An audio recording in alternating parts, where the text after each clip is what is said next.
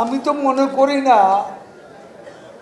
বাংলাদেশ কৃষক লীগের ধানমন্ডি শাখা, বনানী শাখা, গুলশান শাখা বাড়িদারা শাখা, এসবের কোনো প্রয়োজন আছে বলে আমি মনে করি এক সময় এমনও ছিল শুনতাম কুয়েতে কৃষক কাতারে কৃষক সৌদি আরবে কৃষক আমেরিকায় কৃষক কারা কৃষক? ও যে বিদেশে তাকে জায়গা হয় না, সব সংগঠনে ঢুকেছে, এখন নতুন দোকান খুললে নতুন লোক আছে সেখানে একত্রিত এরকম করেই আরও নানান বিষয় আছে। তো যাক, সেই সেই বৃত্ত থেকে কৃষক বেরিয়ে এসছে। সেজন্য সমীরের বিশেষণ শুনতে শুনতে যা অবস্থা।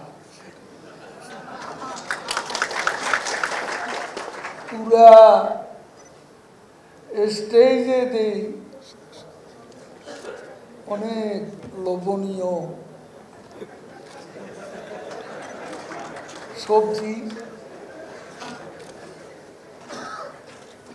আমি জানি না এগুলোর উৎপাদক যারা, তারা কেউ আছে?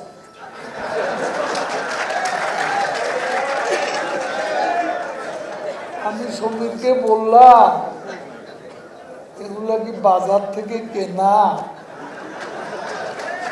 নাকি নিজেদের উৎপাদনে এখানে আসছে। দেখলাম তো ছাদ বাগান করে অনেকে। এটা ভালো।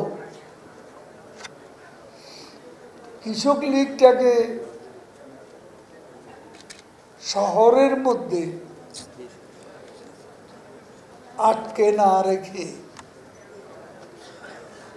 গ্রামের দিকে নিয়ে যাওয়াই ভালো।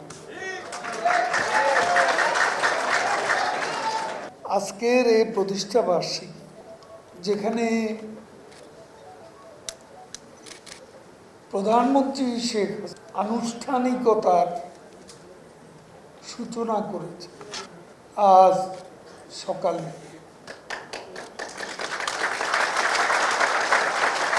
সেখানে আরেকটি অনুষ্ঠান আজই আয়োজন করার আমার মনে হয় কোনো প্রয়োজন ছিল।